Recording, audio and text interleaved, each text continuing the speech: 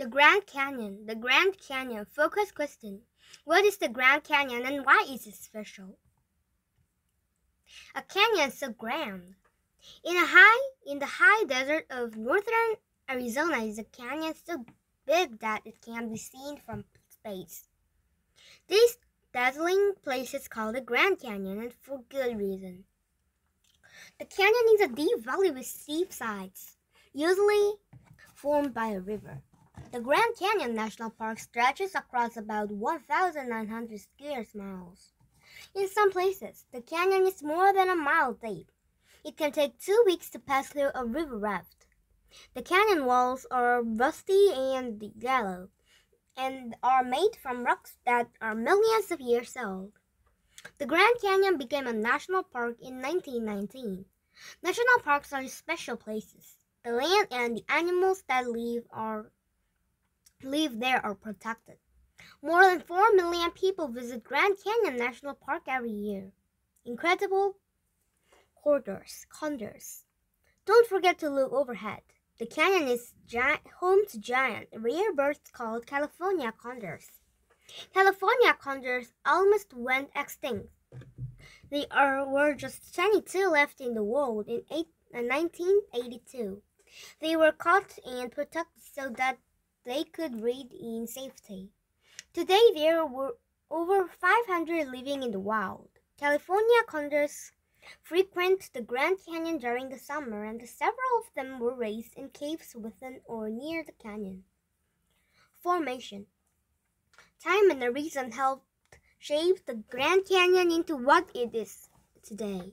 A result happens when bits of the ground were worn are worn away by wind or water for millions of years. The Colorado River ran over the land and wore, wore away the earth. At first, the river water made only a shallow cut channel in the ground. Over the time, it formed an amazing canyon. The Grand Canyon's wall has stripes of different colors. The stripes are layers of sediment that settled on top of each other over millions of years. Each layer shows a different time in Earth's history. The layers are much like the layers of a cake. The river is like a knife that cuts into the cake and shows the layers inside. The canyon's layers give a peek into the past and help scientists understand how Earth has changed over time. Scientists said the rocks at the bottom of the canyon are nearly 2 billion years old. Home in the Grand Canyon. Native people who still live in the Grand Canyon include members of the Havasupai, Navajo, Halupai, Hopi, Zuni, uh, Apache tribes. In many ways, their lives are different from their relatives from long ago, but they have passed down many stories and traditions. Exploration. Exploration. People have lived in the Grand Canyon for at least, two, least 12,000 years. Native groups have hunted, built homes, and grown food there. The area is still home to many nations. By the one, uh, 1850s, settlers still knew little about the Grand Canyon. In 1869, John Wallis Powell led a research team through the canyon. Local people taught him about the history of the canyon and shared, shared safety tips. The native people usually passed their history down through spoken words. Powell's team was the first to write the history down. Over time, more visitors came to see the beautiful landscape in 1919. The government made the canyon a national park and forced the local tribes to leave. Through they were kept out for many decades. Today, they have helped protect the canyon and its history. Some also act as guides and share their stories with visitors. A Tale of Two Rims.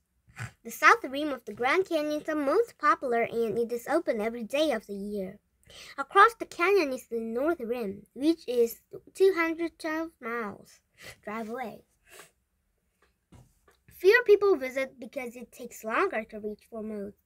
The north rim is at the higher elevation, so it gets more show. It is closed between mid-October and mid-May.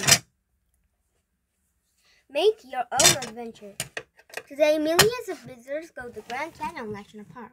Some hikers explore the canyon for weeks. There are cabins where visitors can stay. Rafting on the Colorado River is also popular. The water can be wild, fast, and rocky in some places, making for a grand adventure. People also love to walk on trails along the rims of the canyon. They marvel at miles of colorful walls and watch as sunlight and shadows move across the landscape. A natural wonder. The Grand Canyon is one of the most incredible sights in nature. Its land, peoples, animals, and history will always be protected. Everyone who visits the national park is rewarded with an adventure and a view unlike anything else on earth.